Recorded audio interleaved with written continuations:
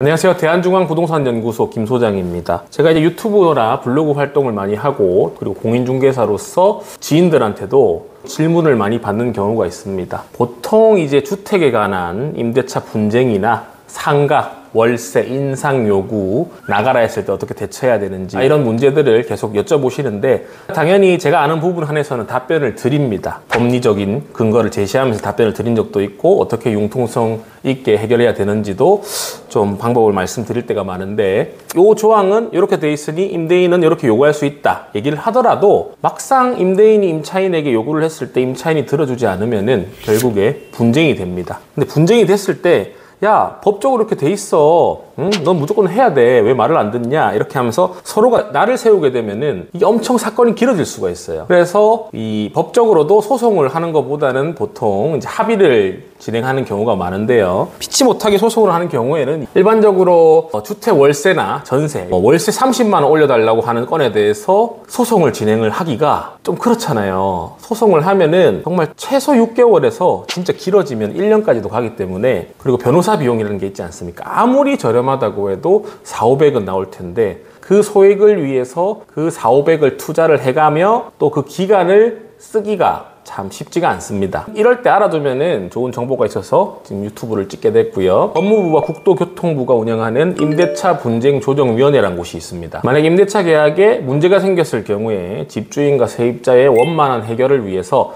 전문가들이 투입이 돼가지고 조정을 시켜주는 겁니다. 근데 이렇게 말씀하시는 분들도 계세요. 어차피 거기 가서도 조정이 안 되면은 시간만 버리는 거 아니냐. 맞습니다. 맞아요. 여기서도 조정이 안 되면은 시간 버리는 게 맞지만 저한테 유튜브로 통해서 물어보시는 분들도 임대인이든 임차인이든 제가 이런 근거하에 설명을 했을 때 아, 그러면은 제가 소송을 하거나 버텨도 안 되겠네요. 그럼 어쩔 수 없이 뭐 조율을 봐야 되겠습니다. 라고 하는 분들이 있어요. 근데 여기는 더욱더 전문가들로 구성된 조정위원들이 옆에서 이렇게 조언을 해주는 부분이기 때문에 조금 더 쉽게 합의가 될 가능성이 높겠죠. 보통 임대차 분쟁 조정위원회에서 도와주는 사항이 뭐냐면은 계약갱신 요구권 거절, 월세랑 보증금 증액, 임대차 기간 계약 불이행, 원상복구 의무입니다. 신청 방법은 정말 간단하니까요. 이 정말 활용을 많이 하셨으면 좋겠어요. 조정위원회 홈페이지 가서 임대인이든 임차인이든 신청을 하시면 되시고요. 검사, 판사, 감정평가사, 공인중개사, 법학 전공 교수, 경력이 꽤 있으신 분들로 구성이 돼서